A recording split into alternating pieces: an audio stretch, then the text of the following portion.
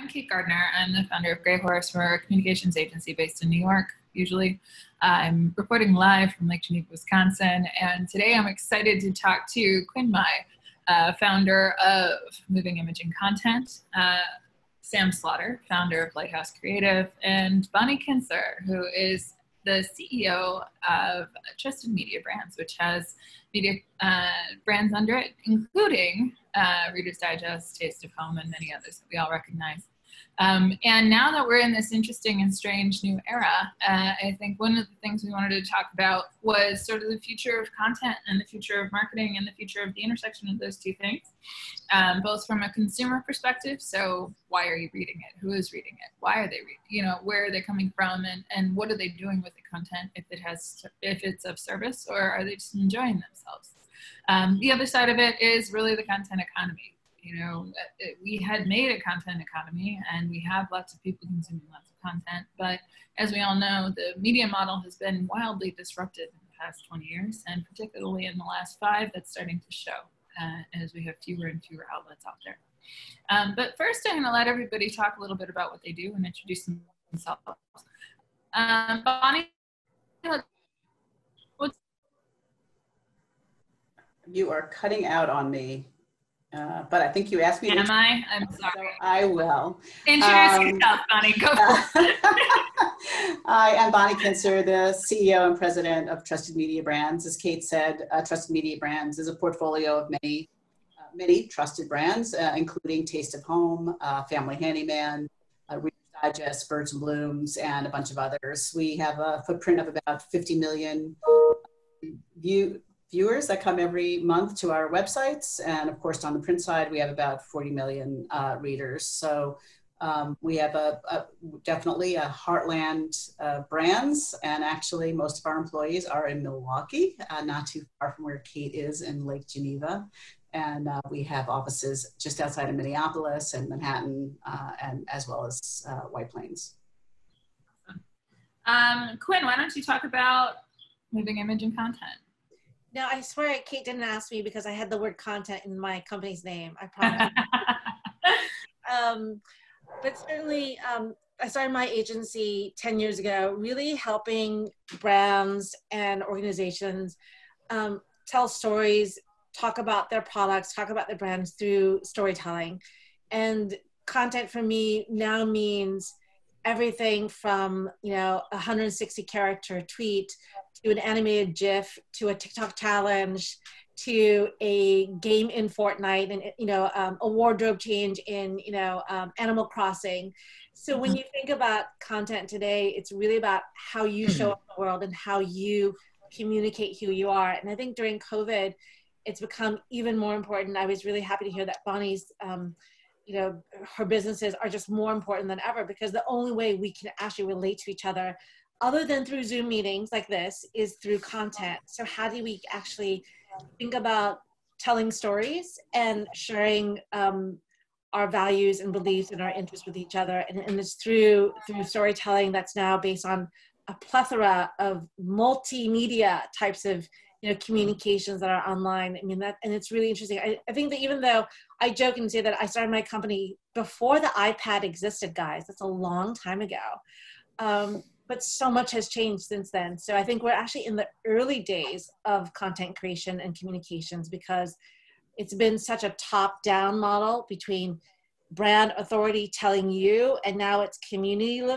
driven coming back up the other way and so this is a whole nother world that we're moving into um, so i work with a lot of traditional brands um, like jaguar and tiffany um, but also with brands like google who actually, believe it or not, as a tech company, have a hard time telling stories, um, telling them who they are. So I work with, the, we, we, you know, my company, my agency provides marketing strategies, strategic work, insight work for um, global brands trying to move into this space. Awesome. And Sam, uh, it sounds like you guys have some simpatico actually. We're totally simpatico. Um, so I'm Sam Slaughter. I, but before we start, I have to say that I usually smile a lot and I laugh on these things, but I got bit by a dog this weekend, my friend's dog, so my my face won't let me smile. So I don't have RBF. I just have an injury in my grill. Um, so my background is I was the co-founder of a content marketing tech platform called Contently that had, um, you know, there was a big network of freelance creatives that we matched up with brands. And then a couple years ago, I left to start an agency, which is called Lighthouse Creative, which is not quite the same thing, but the same output. We, um, we're a bunch of sort of editorial, editorially minded um, writers, designers, and um, video producers, and we focus on just sort of content execution for brands and media companies. So um, sometimes that means, you know, sort of like very, very top funnel editorial type consumer facing stuff and that can and sometimes it can mean really boring stuff like sales presentations and keynotes and decks and stuff like that um, so we work closely with about 10 to 15 brands, um, and a lot of them, most of them are tech, and a large number of them are B2B, although they're not all B2B. And so we we are sort of approaching content um, partly from like a mass market standpoint, but also from like a very specific uh, like marketing deliverable and ROI standpoint, which I think um, hopefully will be a good counterpoint to these guys. Awesome. Um, so, Bonnie, one of the things that you had said was that you've seen a lot of consumption uh, shift towards a variety of, of diverse products. Can you talk a little bit about both what you were seeing and then what you are seeing now that we're in the pandemic apocalypse? So I think you know we have seen digital traffic grow across all of our brands. I think for um, Taste of Home, which is our largest site, um, we saw a tremendous amount of, um, of growth as all food sites did. And so you begin to just learn like what's on people's minds, right? People really wanted to figure out how to make bread. They wanted to figure out how to make tortillas. And I think that was just interesting for us to see what was important to people as they were home. I think the other big winner, which was, I think, a little bit more unusual, was Family Handyman. Um, and you could say it's not unusual in retrospect, but for us at that time, it was, um, you know, really exciting to see that people realized, oh my gosh, I am stuck at home. I should probably use it as an opportunity to get through that honeydew list.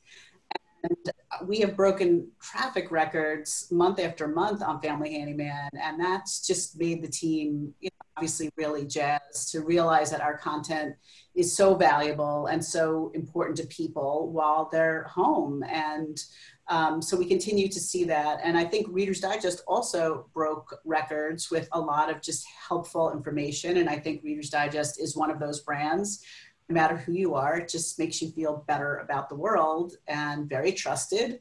And you know, whether it's an inspiring story or you know some helpful hints, I think that the brands really play a role in today's um, stuck at home, if you will, uh, environment. And so we continue to still to still see um, incredible um, records of, of that traffic. That's awesome. Um, Quynh, are you seeing that that the brands that you're talking to are, are changing their strategies to be more of service, or or what are, what are your clients doing? Well, you know, um, it, it's it's been difficult for a lot of brands to move into that arena, Bonnie. And I think you're right. Like for somebody to consume your content, it has to either be wildly entertaining or of service. And I think that a lot of brands um, have traditionally done very self-serving content. You know, look at how amazing I am. Look at how cool I am. Look at how like look at my. It's almost like you know, used car salesman. Check out my ex. Um, and I think what's happening is that organic reach has all but disappeared. You know, I think the average engagement rate on Instagram is like 1% for brands, which is so dismal. Um, that now they're being forced to be more of service. Now, beauty brands were really great you know, in the beginning of, of moving into that arena, like how to's and educational information. But uh, I think the, the other brands are starting to struggle quite a bit, um, whether they're automotive or fashion. Um, tech brands have a little bit of a better example because again they can do how to's but i think a lot of brands are struggling on how to weave their product into a um, a piece of content that is of service. So you know you, you know i think everyone joked about you know all the covid ads they looked exactly the same. They hmm. all sounded the same. They were of service to the community but they were totally vapid. Um, and I think that a lot of uh, you know people with Black Lives Matter are saying to brands too, be authentic and real. You know, do something that is that's really going to make impact. Um, and I think we're in a new world today. You know, um, I, I, said to my husband to the other day, I said, you know, I always thought that there was going to be a pre-COVID and a post-COVID, kind of like you got really sick and then you were better. But now we're realizing that there's, there's no post-COVID. It's just a new way that we're going to live. So I think living um, with empathy is going to be really important. And with that, brands are going to have to be more of service because otherwise, why would anyone give you the time of day? You know, um, unless you're serving me something wildly entertaining or something you know somewhat educational and of service to my life mm-hmm.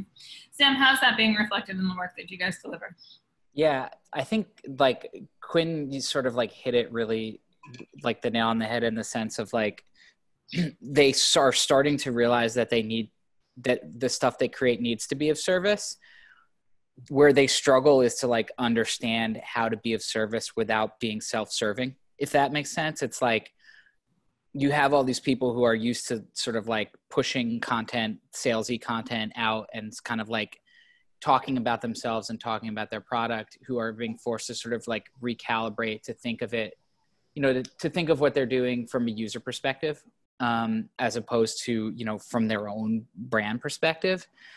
And so I think like that shift is happening. And like I said, like we're like largely in the B2B space, which is kind of always paid lip service to this idea of like service content. And there's there's kind of like a like a playbook um, of how to do it.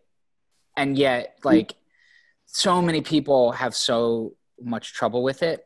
And actually what i've found in the last few months is covid's really helped us to like make the argument to people to be less self-serving right? It's like hey look have you noticed that nobody else is doing what you you're you're telling us you want to create this stuff that's about your product and about how great it is and about how amazing like your company is and yet have you noticed that like mm, nobody else is doing that?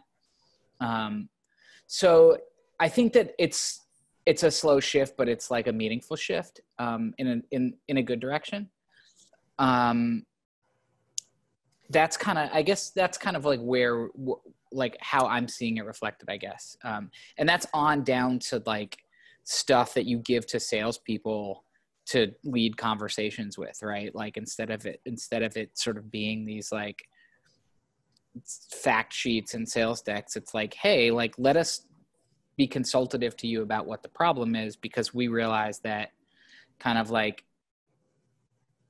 you know, we're the ones that have to help. Like the there's no one coming to help us like and so i don't know. I, I like i think that brands are starting to sort of embrace that a little bit which has kind of been nice to see. Yeah.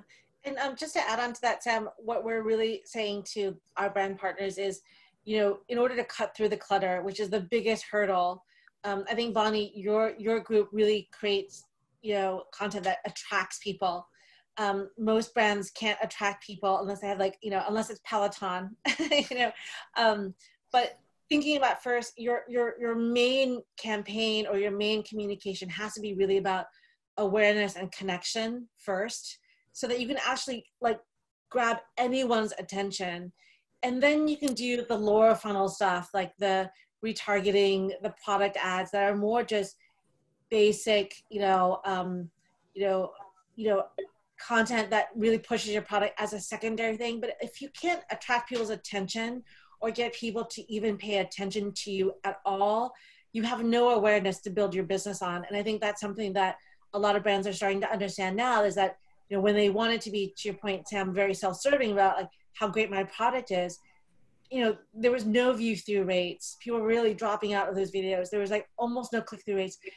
Consumers are just so bored with that sort of level of marketing that now mm-hmm. you have to think about it in two prong. What's your awareness piece, which is just really, you know, more of service. And then you can target leader because you've won their love and they've you won their, their respect to then try to sell them your X product. Mm-hmm. Yeah, what's been interesting to me, and I wonder, like Bonnie, how this is sort of reflected as somebody who's like, you know, producing like so much more content than like the than like a typical, you know, than a than a non media brand would. It's like this balance between acknowledging both that like things are totally abnormal but also that there's a desire to like create a space of normalcy within them you know what i mean Mm, like Yeah, yeah, no, I think that's right. I think, I think that is a, a, a great way to say it. It is, it is that balance. And I think each of our brands handle it differently. Um, so, you know, Taste of Home created a great fun little logo, which was taste stay at home, which, you know, early on in the virus, which was just a reminder of like, we're here for you, but you also need to do your part, you know, and, and be home. And I think that they do a balance of like recipe collections that would be specifically because you're home and you have to feed your kids every single meal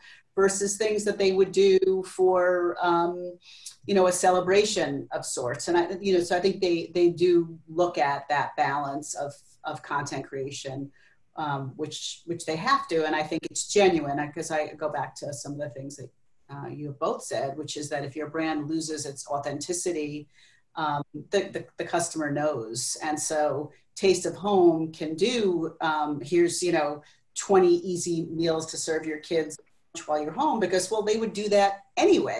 Now they're maybe doing 20 instead of five or the best, but that would be the way they would be talking. now, now it's like 400 recipes yeah, 400. to feed your kids at home forever on, a, on a related note, Bonnie, how does this work out for your advertisers? I assume that they're excited that you have so much more traffic, but what are they? Yeah, doing? I think, you know, I think the advertising community, obviously, the traffic is very meaningful for them. And most of all for us is our engagement, right? Because our engagement rates are really high. So it's not just about having a lot of people, it's what are they doing with, you know, within your community. So that's a real plus. And, uh, you know, just one quick example, we were working with Dole Pineapple before COVID. Um, and they came back to us after COVID because they want to have that relationship to go back to the consumer and because people are cooking so much it's an opportunity if you have to cook all of those meals every week you know make it a little bit more festive by putting some pineapple in. I think that they want to be that's like a great example of like we want to be around the people who are really cooking and want to make sure that their family is happy. Mhm. Is- Well, that's- there's got to be a, a part of it where you're kind of starting to establish new preferences because all of these folks who didn't used to cook are now trying to figure out, you know, yes, bread and sourdough, as we all have seen on Instagram, but also just sort Right, of right. all of the stuff that Betty Crocker used to do um, by establishing her brand as like the go-to for 1950s, 1960s cakes, for example. My family's Yeah. been making the same cakes for 50 years or something. Right. But I think, you know, another example is Sherwin Williams, right? So we, they pulled a campaign with us um, in May, which was obviously very devastating to our team. But then when they started doing curbside paint pickup, well, what better partner than Family Handyman to let everyone know that not only could you pick up your food, you could actually pick up your, your paint. Yeah. So I think having those relationships really, really works as, as marketers come back with their message. Mhm. So we we've talked a little bit uh, on our pre-call around budgets and budgeting, and I know Quynh, you had some thoughts. I'd love to hear what we think uh, is going to happen in the next few months as as the recession, depression, COVID circle continues. Are we seeing uh, cuts already, or are we just anticipating that in the next six months all sorts of things are going to change? Um, I think we've seen. I mean, I can only speak for my client base. We've we've already seen a couple of waves of cuts since March. Um, certainly, the first wave, just the panic wave, you know, um, then the fear wave, and then the how do we make up these this year's like shitty numbers wave. So like you know, I think most of the brands that I've spoken to have had a couple waves already. Um, I think everyone is starting to realize the new normalcy, which is we're not going to come back to a pre-COVID day. We're just all adjusting our lifestyles until some sort of vaccine comes into place, and especially in the US where there are so many more hotspots. So I think brands are now coming back to the point where they can't be frozen anymore. And that was a lot what was happening. Like you said, Bonnie, everyone just cut everything they could because they didn't know what was going to happen. And now that we know that the new normal is, I think they call it um, the hammer and the dance, where you go in and out of quarantine, constantly in and out. Brands are now saying, okay, I have to just live with this new normal and figure out how to adjust. So what we're seeing is definitely you know a huge shift to digital, almost hundred percent. Um, the the other money, you know, TV and digital. Um, I would say the other monies that used to go to outdoor or experiential has totally, of course, disappeared. Um, celebrity partnerships have shifted a lot, celebrity influencer partnerships, because now they're looking for reach and, and engagement to your point Bonnie and not just a huge fan rate. Um, I think people are now realizing how important engagement is. Mm. Um, that just views, impressions alone aren't moving the needle. Um, and then I think they're also realizing the power of advocacy and word of mouth. So they're putting a lot more money into how do we build a community around us and not just get eyeballs. Um, the things that are really suffering, and I'm seeing this, you know, amongst my peers, is um, production has become so commoditized. You know, like you know, I think um, it, it, has been over the last few years, but now that everything is sort of like shot on iPhone, you know, production has really become much more commoditized. And what was really interesting through is that during the the isolation phase and during the shelter in place, so many people were shooting on iPhone and documentary style. A lot of brands in the luxury space were even doing it. And to their surprise, when they launched it, it actually did better than the content mm. that they made that was really polished and um, refined. So I think that's going to be a huge shift in budgeting um, where uh, lo-fi documentary will actually probably rule much more because it performs better. It makes people feel like it's trusted. You know, it feels editorialized. It feels real. Um, so I think the biggest um, shift is actually going to be in production. You know, having people shift to, you know, before it was about cheaper, you know, production value. Now it's actually moving towards more transparent, honest, and more productive content is the one that is feeling more uh, documentary style and more real. So I think that's where um, production companies and directors are going to be more hurt um, because that's shifting towards what consumers want to see, which is more authentic, real content. And if you think of the rise of TikTok, right? If there was ever a polished video on TikTok, you would just you know, freak out because it just feels so wrong to you.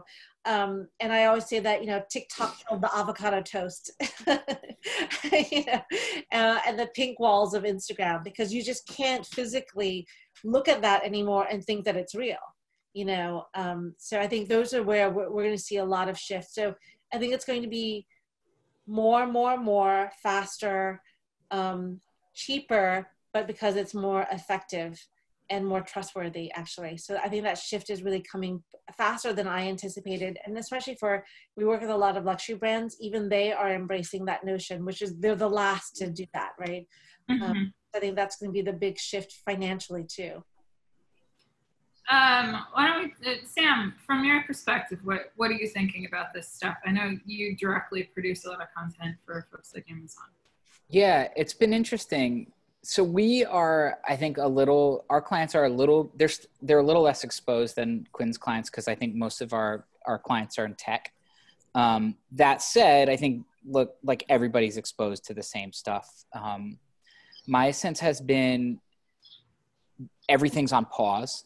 Like it's not like they've decided to like do major budget cuts but any sort of like project of any size has been paused since three or four months ago.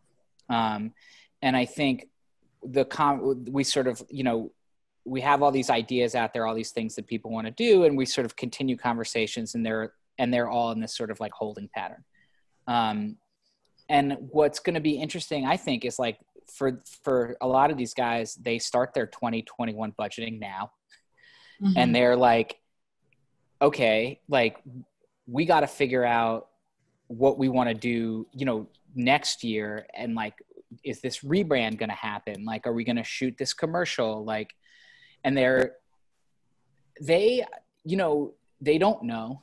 Um I think that they the sense that I'm getting at least so far um here on July 14th is that people are planning to go into 2021 like with a with a relatively like with the plan that things are going to be at least from a marketing standpoint back to normal um, and they're they're sort of they sort of have that luxury because they're because they're largely b2b and because they're largely tech but i do think that they're that's kind of the feeling that I get.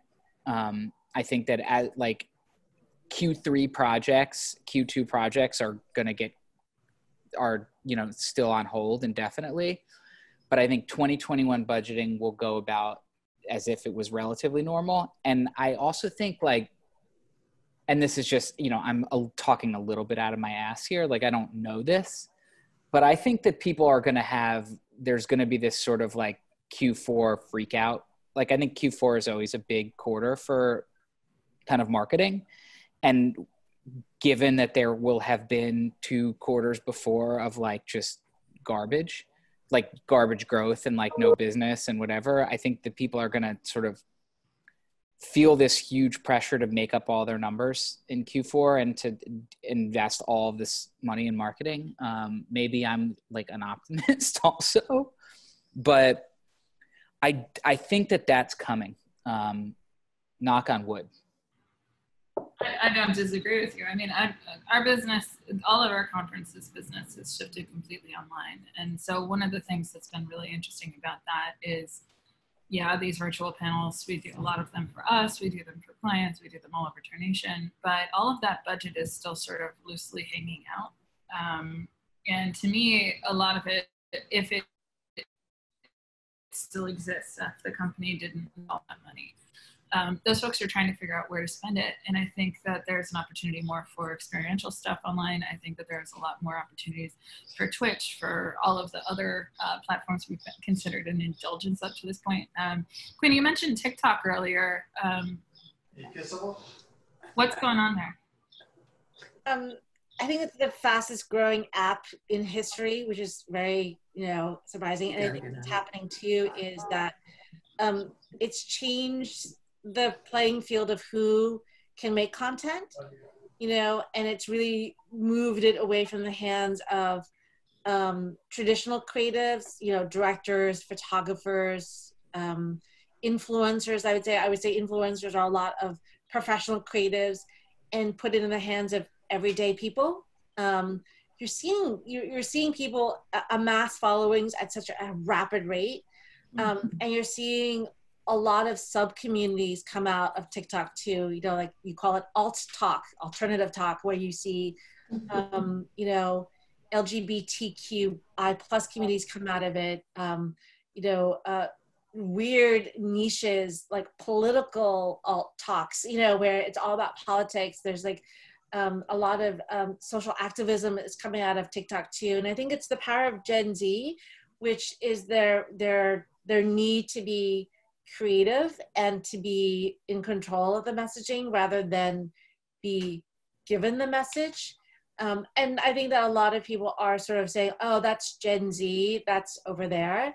But I think that the couple of Gen Z being so active on Twitter, which is like just the news making cycle you know platform of our mm-hmm. generation the the power of tiktok which is real creativity and the power of twitter which is this news cycle those two things combined it's like this force multiplier which is changing culture so fast um, mm-hmm. i think that tiktok you know often is relegated to like oh that's for people who are targeting gen z but i think it's really changing culture in, in really fundamental ways and i think you know the joke of um, the tiktokers who signed up for Trump's rally, right, as a gag.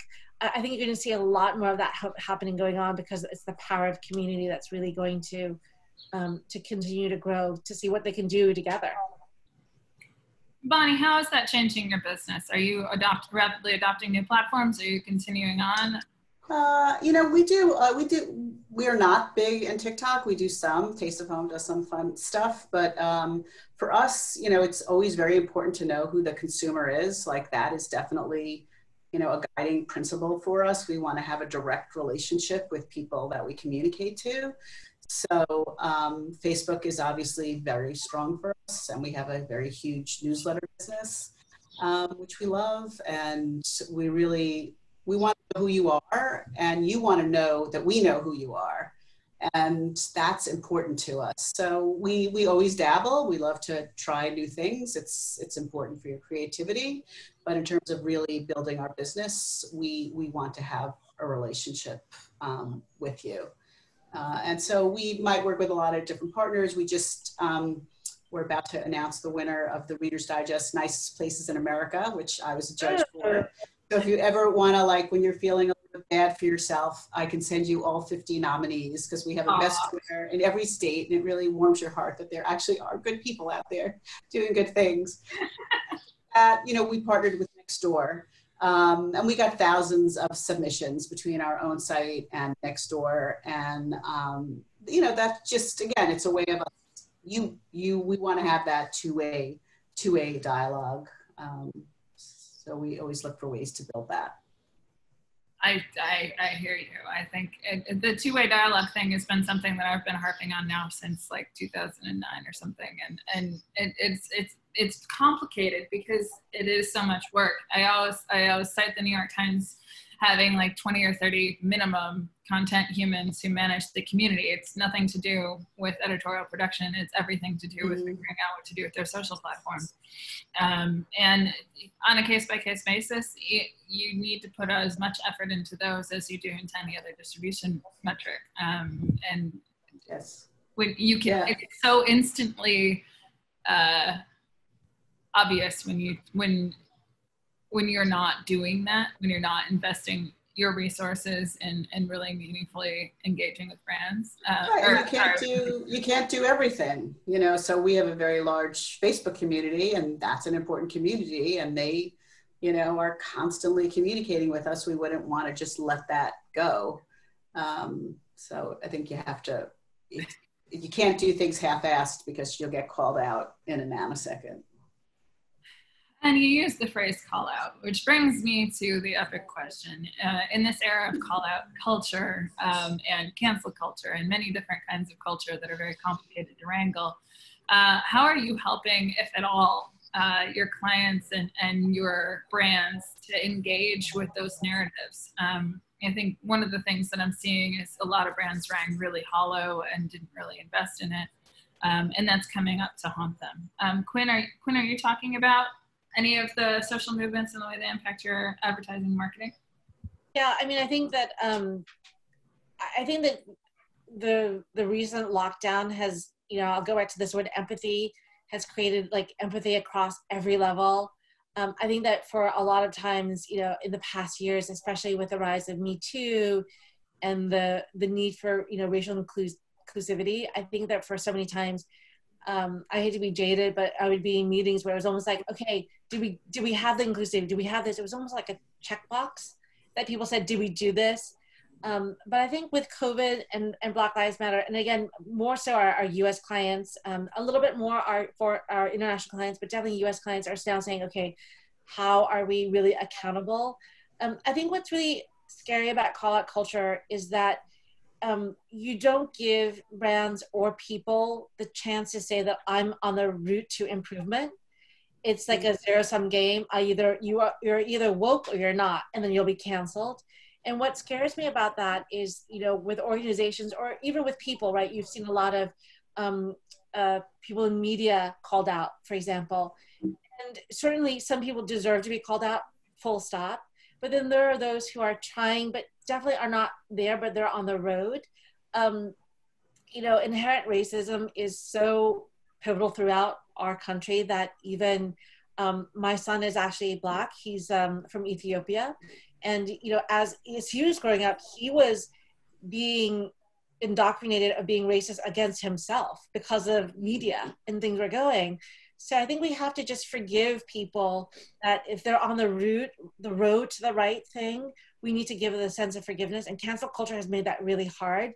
So sadly, what I've seen a lot of the brands do, and, and brands also that we work with, is issue a somewhat heartfelt apology, but and say we're going to do these things.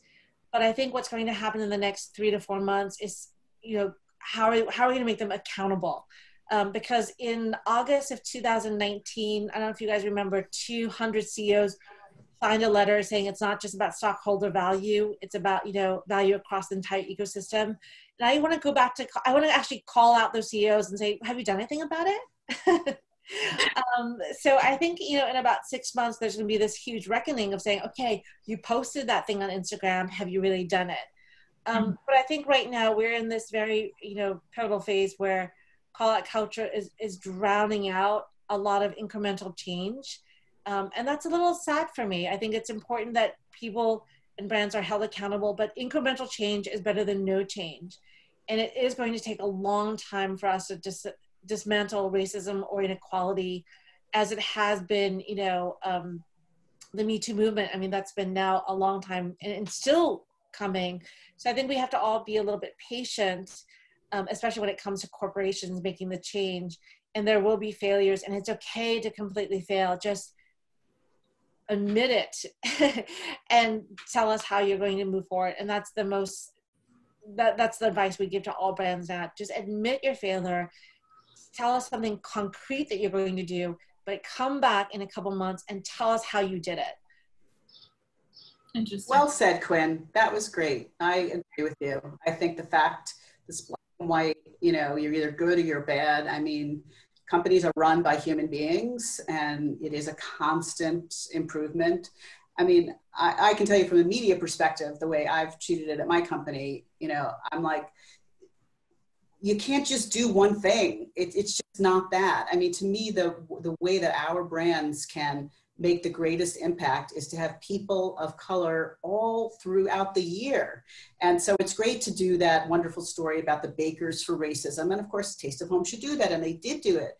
But it's really about every time you turn a page, whether it's on your website or a magazine, that there are a mixed group of people to the point that you no longer say, oh, look, that's unusual. You know, such and such brand had a black person. So I think that if we make that part of the fabric of who we are, then we are really moving the needle. And we have a big editorial, we have a diversity task force, but we have an editorial diversity group.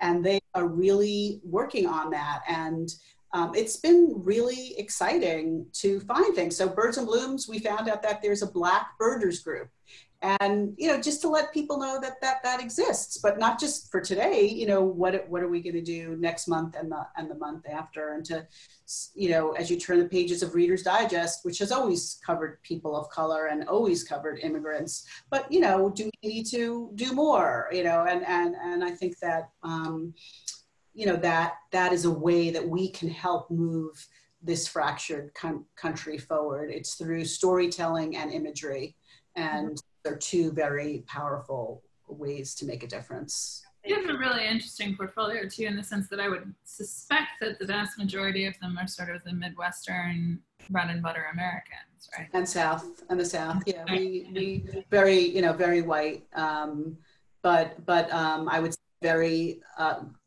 they're about goodness, right? So. Uh-huh. If you're a Reader's Digest, you're about helping your community. If you're a Taste of Home, you are the person who makes all the best meals at the Sunday church pot, you know, potluck. So mm. are very, very community minded. Um, and in that way, I think that they do want to help others and regardless of, of the situation. Yeah, I think you make a really good point, Bonnie, especially as the leader of a media company, that you're threading the needle across everything. It's not one thing anymore um, and that that just takes time you know it takes a lot of time you know brands like brands are human beings too. And mm-hmm. you know, i definitely have had my share of talking to founders or ceos and confessing oh my god i don't have anyone of color on my executive team. What do i do about it? Well you're not going to be able to do something overnight you know obviously with that. Um, but how do you, you know all those small steps to take to dismantle this way of thinking um, is so critical. And, and just keeping threading that needle every single day on every single decision is what's going to really make change um, versus like you know a heartfelt instagram post. Mm-hmm. yeah one thing just my like addition to this is that what's different now i think is there's like these companies have a lot of pressure internally. Like their employees are the ones that are making them do stuff now which is you know feels like a um, you know a, a, shift and it's harder for them to explain away with an instagram post or you know saying we made a task force or whatever. Like their employees come to work every day and are like what are you doing? What did you do today? Like what did you do tomorrow? Like what are you going to do next week? And i think they there has the people the brands we work with have had a very hard time communicating to their employees that you know i think that the majority of them are good-hearted and they want to do the right thing. And like they are not up to the challenge of a doing it or but b communicating to their rank and file about how they're doing it um, even the ones that are like trying to take steps. And i think that i'm i think that that pressure this isn't really like i don't know this isn't so much of a content question but i think that pressure internally is is really kind of valuable and I think it's not going away. I think that sort of like these guys are going to have to continually deal with this. And I think that employees who have to, who are there every day and are in the Slack group or, and are in the emails or, and are talking to people are a lot less easily placated than sort of the general public. And I think that's a good thing. Yeah, I think you're right, Sam. I think that Facebook's um, biggest challenge is not the ad um, boycott, but actually their employees who are um, the most coveted, educated, have a lot of places they can go in this job market. Um, and that's more dangerous to them than than you know a, a one month long ad boycott. I think Mark Zuckerberg even said it. Oh, they'll be back. mm-hmm. You know, um, but you know, employees can you know those, those those employees, especially at Facebook, can find other places to go quite easily. Yeah, and like I said, every single one of our clients is facing that. Like all of them they're all run by white guys, almost all of them. And all of them have like employees who are like, what are you going to do about the fact that there's no diversity on the executive team and in the uh-huh. company in general? And and Bonnie, how does that reflect into kind of the situation you find yourself in? I know you had said previously that many, many, many of your employees are here in Milwaukee, um, and one of the challenges here is that we we both were not really infected by COVID as much outside of the city, and also at least not yet. Um, and also, uh, you know, personally, some Chair and I are having a moment. Uh, personally, um, excuse me. Uh, anyway, uh, that that your staff were trying to for we're struggling both uh, with both uh, COVID and social justice almost at the same time. Yeah, I think for um, I think COVID it, again because of our location was like story the tale of two different cities, right? So the the New York team was highly highly impacted by COVID, and Milwaukee and Minneapolis were you know some of them simply didn't even know anyone who got sick, let alone really sick or or, or died. Whereas in New York, we all knew people that died. Um, I, at least anyone that I spoke to did. And so that was very different. Um, but I think they took it seriously and um, they did want to go back to work sooner. I don't think anyone in Manhattan is asking to go back in the office to the same extent.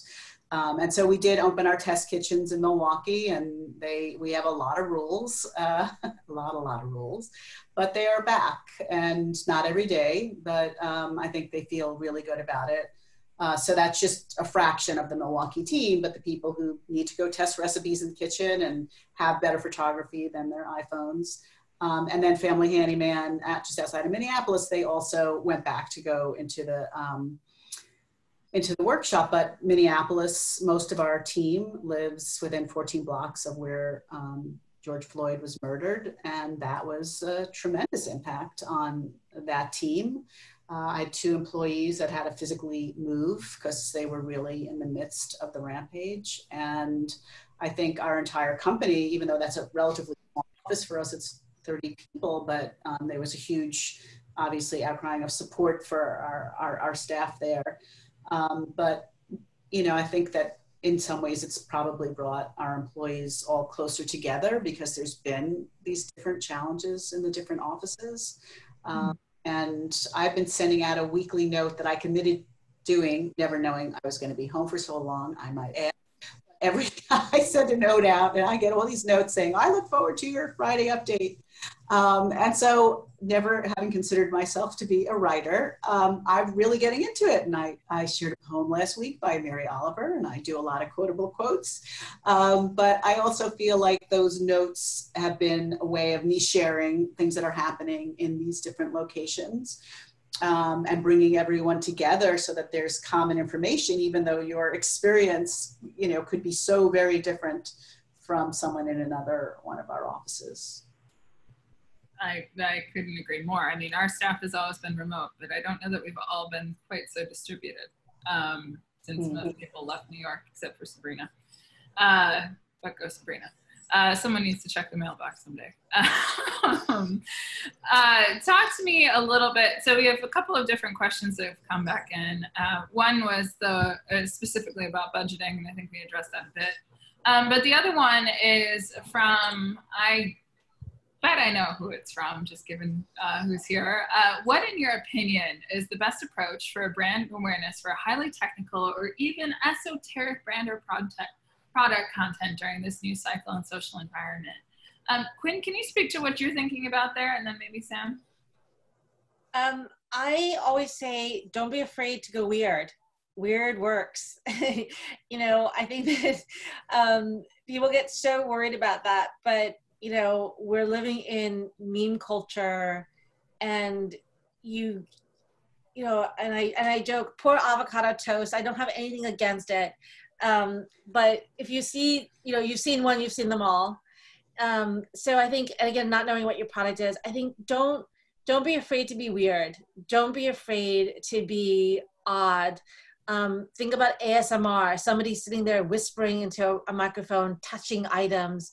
Um, you know, one of my favorite Instagram accounts is this really sweet Japanese girl who bakes cakes. Bonnie, this might be for you. And she smushes it on her face. and it's wildly, you know, interesting to me. And it stops me every single time. So I think that if you do have an esoteric brand or something, go weird with it. It's totally fine. Just find find your find your weirdness. Let your freak flag fly. People who will be attracted to that will be attracted to your product, and you will stand out. Uh, and I think, and correct me if I'm wrong. I also love bread face. Bread face is great. Uh, there's there's lots of stuff like that too. I think these niche accounts that we're all starting to follow because we've spent way too much time on Instagram and YouTube and wherever else you might find yourself, TikTok, obviously. Um, that that we're just looking for ways to integrate those sorts of portfolios into our client accounts, especially when they very obviously go viral for something completely weird. Um, I also love following like uninfluencers or uh, any of the other brands that are just really specific and are, like very nuanced and, and, and, odd to, to engage with. But uh, in the case of the uh, person who asked the question, you know, work with things like how it's made, work with things like specialty tools, work with places that create um, think like cult, uh, consumer com- cultures that come from a desire to literally watch how the iron becomes steel becomes a hammer you know?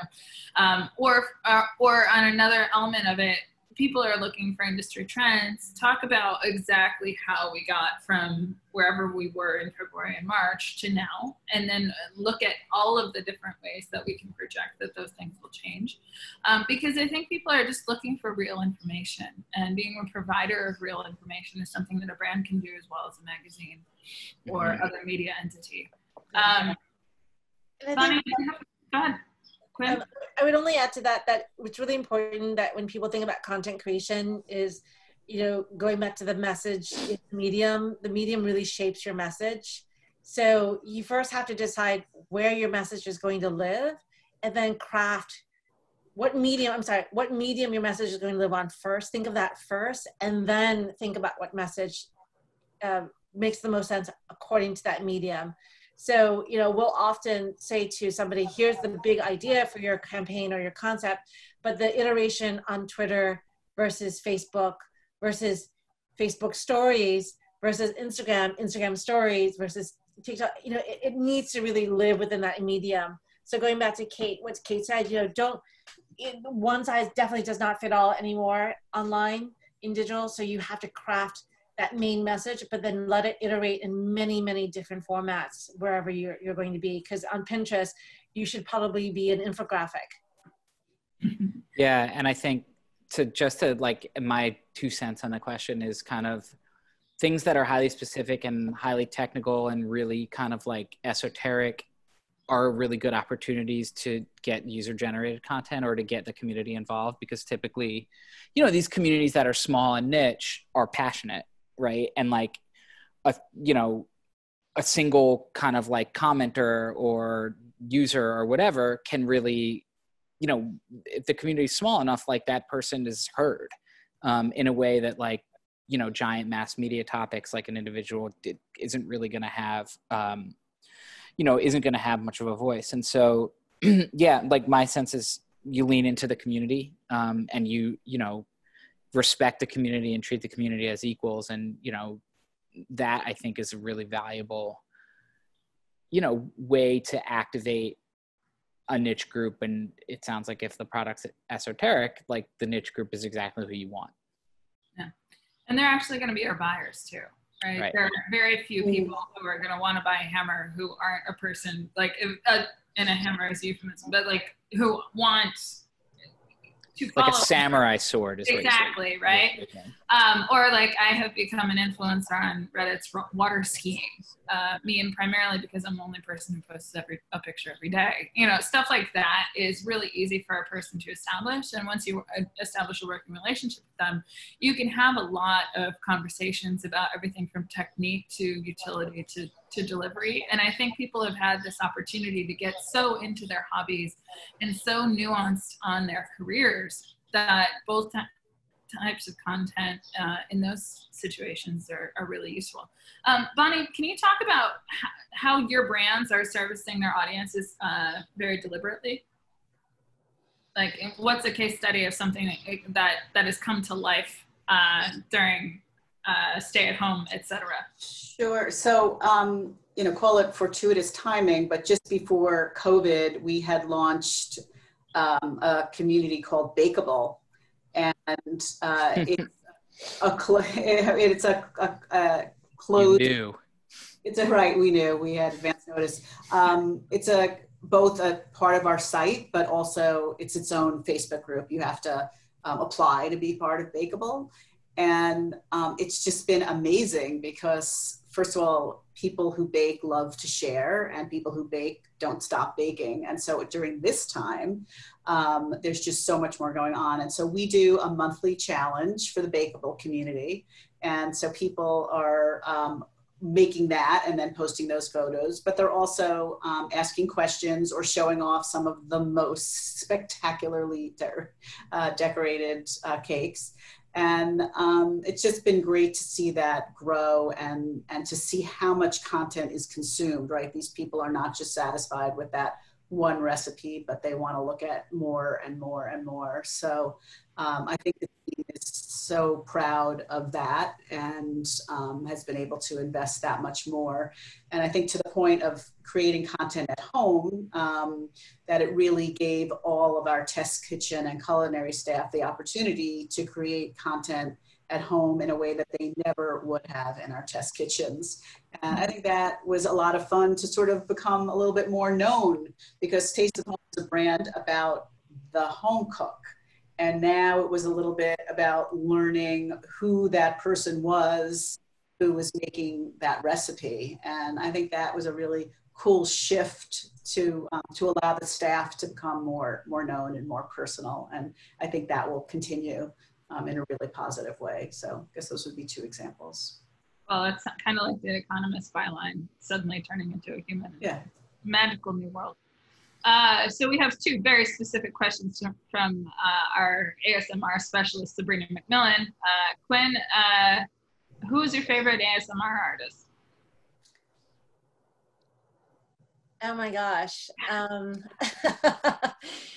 I have moved away from ASMR because now I'm into TikTok dancers. Um, so on trend. I'm sorry, I'm I'm I'm a teenager at heart, guys. Let's just stay young.